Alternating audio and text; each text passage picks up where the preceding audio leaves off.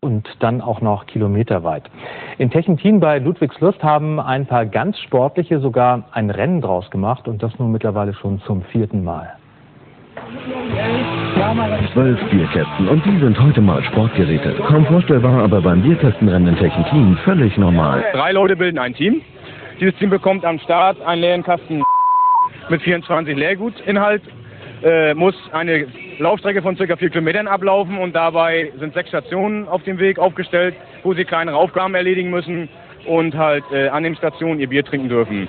Titelverteidiger sind die Klarmacher aus Ludwigslust. Was habt ihr denn für einen Plan, um zu gewinnen? Wie macht ihr das? Ja, kleine Vorbereitung, Okay, ein paar Touren, paar Touren drehen, ein bisschen laufen, ein bisschen schwimmen, alle ein bisschen sportlich angehaucht und ein bisschen trinken natürlich auch nebenbei, ganz klar. Ja, und gehen wir rein ins Rennen, gewinnen das Ding, ganz gleich. Alle drei Minuten ein Start und mit jedem steigt die Pulsfrequenz.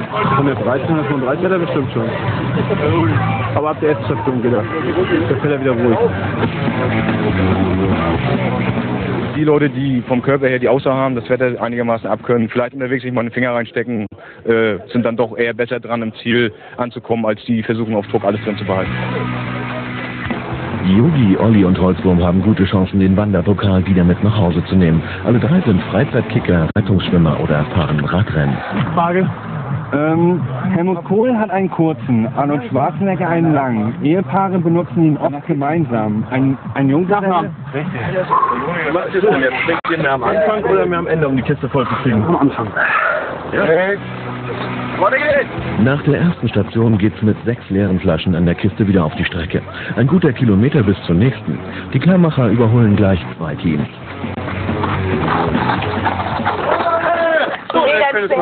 Jeder einen Hut. Und das heißt, sagt doch der junge Mann.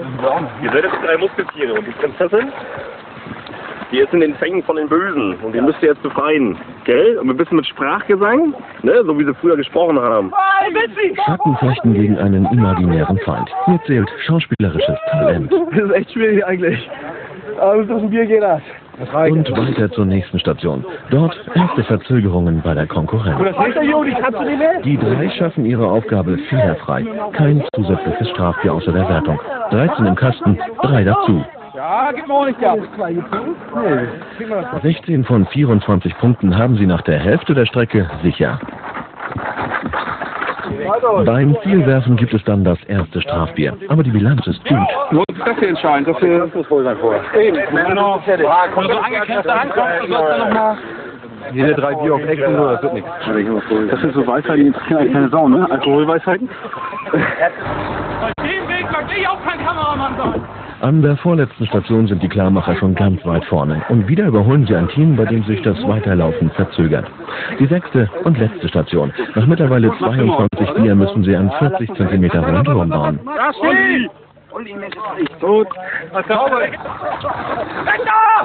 Die letzten 600 Meter schaffen sie in Rekordzeit. Nach 42 Minuten sind die drei im Ziel. 16 Minuten schneller als im vergangenen Jahr. Ich möchte jetzt keinen Sprit mehr hinlegen, aber ich finde es gut.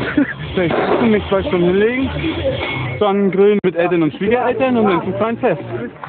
Das letzte Team braucht gut eine Stunde länger. Kein Rekord, aber olympisch wird diese Disziplin wohl sowieso nie. Heute